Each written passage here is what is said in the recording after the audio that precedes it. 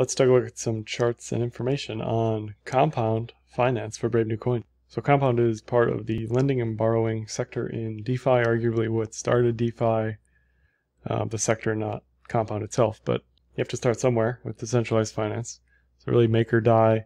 Tether, definitely a part of that conversation to get the ball rolling as well, stable coins, that sort of thing. So they currently only have 10 markets, um, and they have uh, several custodians as well, institutions, you know, the usual what you'd expect from a, a leader in lending and borrowing. Um, they offer probably the shortest list of lending and borrowing, maybe aside from Maker, but for me, Maker's kind of its own animal, its own beast. If anything, Maker migrated to uh, sort of broader lending and borrowing, multi collateral versus single collateral. Um, then a comp towards Maker. But anyway, they've got they've got 10 lending and borrowing markets where you can participate various APYs depending on what the demand is. Typically, demand for stablecoins is higher than everything else on any given day, which makes sense. In a bull market, you're going to see demand for people leveraging up on USD. And if the coins themselves are volatile or bullish, there's less of a reason to lend unless you're an ultra long term holder in my opinion, because you are just holding, right? You can always lend on top of your holdings, which is probably why these APYs for the coins in general are so low relative to stablecoins, right? For the most part, that's across the board in these lending and borrowing systems. Uh, if we look at the TVL in USD, it's dropped considerably. I remember a couple days ago, uh, comp was number one TVL. I forget the exact reason uh, what they did or what was happening to, to migrate that liquidity over to comp. But uh, that has since retraced slightly, and it's not just ETH or BTC volatility. It looks like, um, unless DeFi Pulse has this incorrect, that some of this liquidity got pulled and or is just not measured on DeFi Pulse at this time. It's possible something got moved to layer two. You know, all these.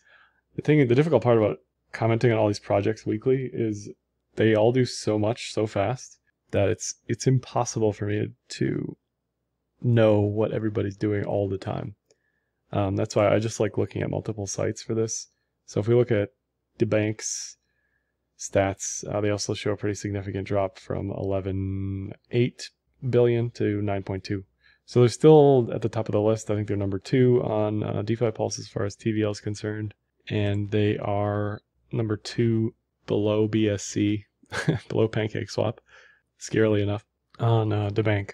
So DeFi Pulse has a compound listed as number two with Maker number one. So there's clearly some weird calculations going on between the two sites. That's why it's important. You know, if you don't trust the data on one site, it's like CryptoQuant versus Whale Alerts versus Glassnodes. You know, if you don't trust one of them, just look at all of them and see what they're saying. So TVL still historically high, TVL down over the from the all-time highs uh, last week. Uh, if we look at all the lending and borrowing stuff, Compound, Maker, Aave, Compound still has the most outstanding loans, followed by Maker, and then Aave at the bottom of the pack there. And if we look at deposits, those have all gone down slightly. Um, Compound in the green here, leading both Aave and Maker. So Compound kind of becoming the powerhouse here over the other two, and this will slosh around depending on all sorts of factors, liquidity. Uh, you know, if Yearn is involved, if if some sort of index, right? If there's like a re-indexing of the APYs or something, um, you're going to see liquidity or deposits shift from Aave to Maker to Compound or back and forth.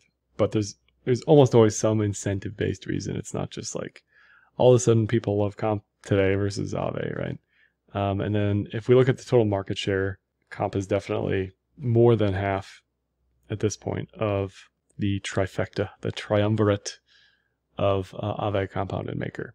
So I don't think the service is going anywhere anytime soon. I don't think uh, lending and borrowing is going anywhere anytime soon. I'm just apprehensive at the tokens themselves. So this is the token uh, transaction counts for comp and transaction values for comp. And I've been saying this in the past couple videos for this DeFi stuff, but the question is, does do the on-chain metrics even matter? for any of the governance tokens if reality is you're not really going to be moving your comp very often you know for any reason unless it's speculative or unless there's some sort of vote going on and we can look at the votes here and the proposals and they may even show who who is voting. It depends on on the site if this will even load. Always a good sign when your your governance token dashboard doesn't load. I'll check it again later, but it doesn't look like it's even loading. Um, so yeah, I mean, let's be real, right? You're not going to move your comp around unless it's speculation. So this is probably all a measure of speculation. So maybe it's in that sense more pure for price specifically. But it's not like these transactions per day numbers are impressive. Even per week, you know, it's down pretty significantly over whatever the baseline was from July 2020. Um, average transaction values are up as comp appreciation kicks in, as well as ETH fees remain high. You're just going to see less, fewer smaller transactions. Um, NVT, inverse metric of economic utility in the line here, and active addresses in the fill. Again, active addresses down. Question is, does it even matter? Do we care? Are we really going to be moving comp? You know, this isn't ETH, this isn't BTC, it's not a quote unquote currency. You're not going to be moving this stuff around for the most part. It's just going to kind of do its thing. NVT continues to kind of hold a range low. Um, if you are bullish, you want NVT to continually remain low because that says that price relative to on-chain activity is low.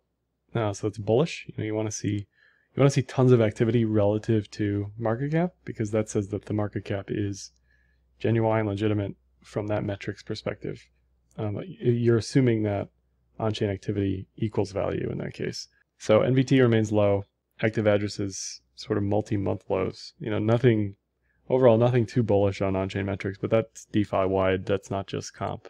Um, moving over to technicals on the 12-hour comp um, held this range really after its run up from November, you know, kind of just had this this it double topped, had a bleed, right?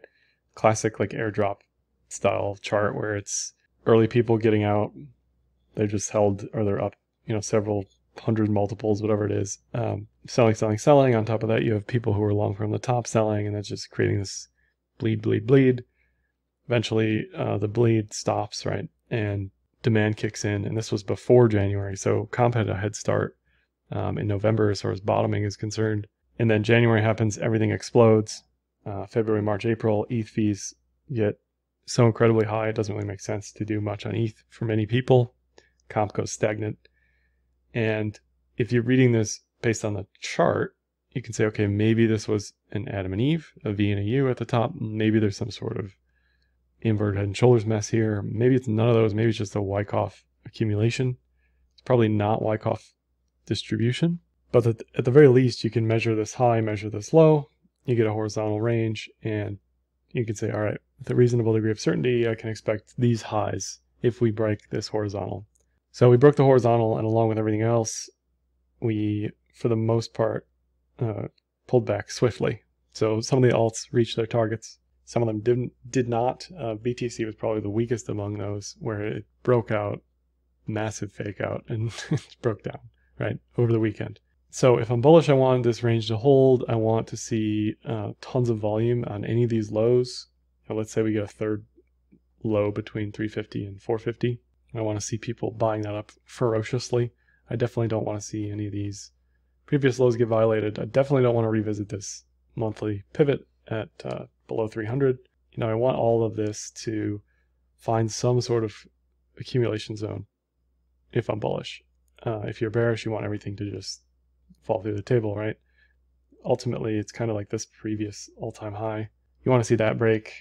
Um, you want to see sub 250 again, really, if you're bearish. So it's more more neutral, more consolidation. You know, had a chance. This is just how things are. You're either trending uh, bearish, bullish, or you're consolidating. You know, there's really that's really it as far as market decision making process. Uh, the consolidations can be bullish, in which case they're accumulation. They can be bearish, in which case they're consolidation. And then from there, you can, you can decide is this accumulation or distribution based on chart patterns or trend metrics, whatever you want to look at. So this looks about as neutral as I, I can really see it at this point. Uh, 12 hour cloud, which has been sort of noisy, but decently okay as far as telling you in December to start getting long, and then in mid January, early January to tell you to relong this after it tested support. So currently not below the cloud, but you know, this at this point I wouldn't trust anything the cloud's telling you here because we've just been raging for so long. You know, this is a great example of just trusting horizontal lines over any trend metric because the trend met- metrics aren't going to know what to say. It's just been sideways. And anytime we're sideways for more than a month, trend metrics typically just trip over themselves like they are here and you know you're getting mixed signals back and forth. But on balance, we're above the cloud still, and we still look okay. Now, if, if we get below the cloud, then we start to get into the bearish conversation. And if we get below the range, then we get into that bearish conversation. If we look at comp BTC, it's kind of the exact opposite. It looks like it's ready for a bullish reversal. If anything, it's got some sort of weird falling wedge and or inverted head and shoulders, right? Uh, shoulder, head, shoulder, maybe another shoulder. Um, trend is bearish, but it looks like it's telling you it wants to reverse. Now, if we compare this to ETH, uh, comp ETH, right, it looks the opposite. You know, it's like this looks like it's not a head and shoulders, but it's not not a head and shoulders. You know what I mean? It's different. there are clear horizontal lines here. Um, it's a great example of the two. And you can see a definite denial at uh, the 200 here versus comp BTC, which is kind of hugging this 200, kind of testing it, testing it, testing it. So the cloud and the 200 day moving average here tell the same story, which is this maybe an inverted head and shoulders if we break 01, basically. Hey, look, another psychological resistance. Surprise, surprise. Uh, if we break 01, then we're probably good to go for further bullish continuation. Whereas this looks like it's going to revisit lows. It looks bearish. It looks like it wants lows. Uh, doesn't comp does not look like it will outperform ETH based on trend. So if you want to see me trading uh, DeFi stuff, you can check out the managed DeFi portfolio on enzyme.finance. And there's 15 to 20 coins which will be actively traded. Comp is among them. Comp is being held and it has a 2% allocation currently, along with everything else. And how this works is it's non-custodial portfolio management. So you can see all of uh, the trades, the allocations, deposits, withdrawals. You can see who comes out and when, AUM, all that sort of thing. You can see all the trades I make. So even if you don't participate uh, directly through Enzyme, you can always just see you know what I'm doing and when. And you know if I'm I'm bullish on Enzyme or if I'm bullish on comp and I'm talking about comp in a video, you can say, does this guy own any comp? Is he being honest? Um, you know you can always check that because it's all right here. So that's all for this one. Like, dislike, comment, share, subscribe, and happy trading.